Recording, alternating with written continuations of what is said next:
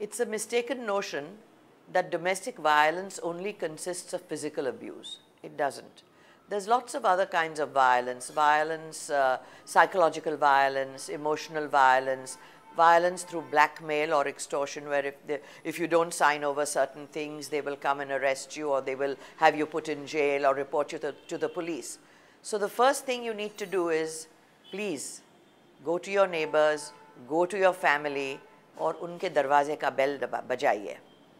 And the most important thing is the minute domestic violence occurs please do go to the police station और वहाँ का bell बजाइए।